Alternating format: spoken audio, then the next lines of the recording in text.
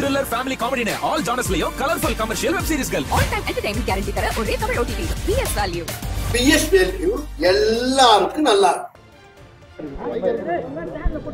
March ஒன்றாம் தேதி தளபதி மு க ஸ்டாலின் அவருடைய பிறந்த நாளிலிருந்து தொடர்ந்து ஒன்றிய அரசினுடைய நடவடிக்கை நீங்கள் எல்லாம் கூர்ந்து கவனித்துக் கொண்டிருக்கிறீர்கள். தளபதி மு க ஸ்டாலின் அவருடைய பிறந்த நாள் விழாவிலே கலந்து கொண்ட எதிர்க்கட்சி தலைவர்கள் எல்லாம் ஒன்று கூடிய அந்த கூட்டத்திலே தன்னுடைய பிறந்தநாள் செய்தியாக எங்கள் தலைவர் தளபதி மு ஸ்டாலின் அவர்கள் ஒரு முழக்கத்தை எழுப்பினார்கள். அதாவது யார் பிரதமராக வர வேண்டும் என்பதல்ல யார் வரக்கூடாது என்பதுதான் முக்கியம் என்ற அந்த முழக்கத்தை என்றைக்கு அவர் முன்வைத்தாரோ அதிலிருந்து தொடர்ந்து ஒன்றிய அரசு ஆளுநர் மூலமாக சில நெருக்கடிகளையும் இப்பொழுது அமலாக்கத்துறையின் மூலமாக பாட்னாவிலே நடைபெற்ற எதிர்க்கட்சிகள் கூட்டத்திலே தளபதி மு க ஸ்டாலின் அவர்கள் கலந்து கொண்டு சென்னைக்கு திரும்பியவுடன் அந்த வேகத்திலேயே செந்தில் பாலாஜி வீட்டிலே ஈடியினுடைய ரயில் நடைபெற்றது. நீங்கள் அனைவரும் அனைவர்கள் இப்பொழுது அந்த வழக்கு உச்சநீதிமன்றம் சென்றிருக்கிறது. இன்றும் நாளையும் கர்நாடக மாநில பெங்களூரிலே முன்பு கூடிய கூட்ட எண்ணிக்கையை விட இப்பொழுது அதிகமான எண்ணிக்கையிலே அகில இந்திய பூராவில் இருக்கிற எதிர்க்கட்சிகள் கூடுகின்றன. இவருடைய கவனத்தை திசை திருப்புவதற்காக இன்றைக்கு பொன்முடியினுடைய வீட்டிலே அதிலும் அமைச்சராக இருக்கிற அவர் வீட்டிலே செய்கிறார்கள் என்றால் உங்கள் அனைவருக்கும் தெரியும் இப்பொழுது அவர் மீது அதற்காகத்தான் நான் வந்தேன். எதற்காக இங்கே ஈடி வந்திருக்கிறார்கள்? எந்த வழக்குக்காக என்று கூட அவர்களிடத்தில் சொன்னார்களா என்பது எனக்கு தெரியாது. ஆனால் அதை தெரிந்து கொள்கிற உரிமை அவருடைய வக்கீல்ங்கிற முறை எனக்கு இருக்கு உரிமை இருக்கிறது. I miss legal adviser but nobody respond to my call நான் வந்து இங்கே பார்க்க வேண்டும் என்று நானும் எங்களுடைய வழக்கறிஞரும் கேட்டபோது அட்லீஸ்ட் என்னையாவது விடுங்கன்னு கேட்டபோது நீங்களாம் பார்த்தீங்க. ஐ வாஸ் நாட் பர்மிட்டட் அதனால் இன்றைக்கு அவர் மீது போடப்பட்டிருக்கிற அவர் இங்கே ரைடு நடத்தியிருக்கிறது ரெண்டாயிரத்தி ஆறிலிருந்து ரெண்டாயிரத்தி பதினொன்று வரை அமைச்சராக இருந்த நேரத்தில் அவர் செய்ததாக சொல்லப்படுகிறது. ரெண்டாயிரத்தி ஆறுக்கும் ரெண்டாயிரத்தி இருபத்தி மூணுக்கும் எத்தனை வருஷம் இருக்கிறது உங்களுக்கெல்லாம் தெரியும். ஏறத்தாழ பன்னெண்டு வருஷம் ஆயிடுச்சு. இது அம்மையார் ஜெயலலிதா அவர்கள் முதலமைச்சராக இருக்கும்போது போட்ட வழக்கு. அந்த மாதிரி செத்து எத்தனை வருஷம் ஆகுது? ஏழு வருஷம் எட்டு வருஷம் ஆயிடுச்சு.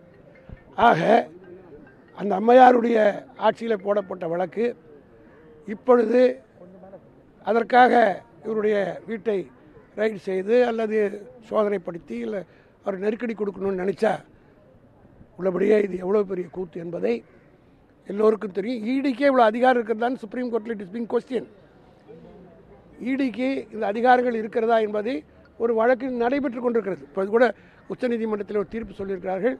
இதனுடைய தலைவராக இருந்தவருக்கு கண்மூடித்தனமாக எக்ஸ்டென்ஷன் கொடுத்துருக்கிறீர்கள். இது செல்லாது இட் இஸ் இல்லீகல் என்று சொல்லியிருக்கிறார் என் நான் ஒரு வழக்கறிஞர் என்ற முறையில் இது எங்கள் கட்சியினுடைய நிலைப்பாடு அல்ல. ஆஸ் அ லாயர் நான் கொஸ்டின் பண்ணது any act which has been ஒரு அப்பாயின்ட் பண்ண ஆள் appointment itself is illegal என்ன any order pass by him is also illegal என்று இஸ் கோஸ் விதவுட் சேங் ஆகவே அந்த அடிப்படையில் எல்லாம் பிரச்சனைகள் இருக்கின்றன. ஆனால் இன்றைக்கு இவ்வளவு ஆர்வமும் ஆவேசமும் காட்டுகிறவர்கள் ஒன்றை புரிந்து கொள்ள வேண்டும். ஈடி போட்ட எந்த வழக்கிலாவது குற்றம் நிரூபிக்கப்பட்டிருக்கிறதா? நூற்றுக்கு ரெண்டு பேர் கூட ஒன்று நிரூபிக்கப்படலை. இதேபோல் தான் கர்நாடக மாநிலத்தில் டி. கே. சிவகுமார் வீட்டை பல்வேறு சோதனைக்கு ஆளாக்கி அங்கே பல நெருக்கடிகள் கொடுத்தார்கள். இந்தியாவிலே அதிகமான ஓட்டு வாங்கி ஒரு லட்சத்தி ஒன்பதாயிரம் ஓட்டு வித்தியாசத்தில் டி. கே. சிவகுமார் கர்நாடக தேர்தலில் சட்டமன்றத்தில் ஜெயிச்சிருக்கிறார். ஆகவே மோடி அவருடைய அரசு இது போன்ற நடவடிக்கை எடுத்தால் காஷ்மீரத்திலிருந்து கன்னியாகுமரி வரை கர்நாடக மாநிலத்திலே பிஜேபி என்ன ஏற்பட்டதோ அதே நிலை தான் ஏற்படுகிறது ஏற்பட போகிறது. திமுகவை பொறுத்த மட்டிலும் இப்பொழுது கூட எங்கள் தலைவர் விமான நிலையத்தில் பேட்டி கொடுத்தார். நாங்கள் இதற்கெல்லாம் அஞ்சுபவர்கள் அல்ல. பொன்முடியை பொறுத்த மட்டிலும் பல முறை போராட்டங்களில் கலந்து கொண்டு சிறைச்சாலைக்கு போனவர். ஒரு வார்த்தை பேசினார் இருக்கார் ஒரு டெஃபமேஷன் என்று சொல்லி அவர் உள்ளே வச்சு எம் ஜெயலலிதா ஆட்சி காலத்தில் சித்திரவதையை அத்தனையும் தாங்கி கொண்டு தான் இருக்கிறார். நாங்களாம் மிஸ்ஸாவே பார்த்தோம். நான் மிசாவில் உள்ளே போனவன். எங்கள் தலைவர் தளபதி மிஸ்ஸாவில் போனவர். ஆகவே இதையெல்லாம் காட்டி எங்களை மிரட்ட முடியாது. ஆனால் இன்னும் ஒரு ஐந்து மாதம் தான் இவருடைய ஆட்சி இருக்கிறது.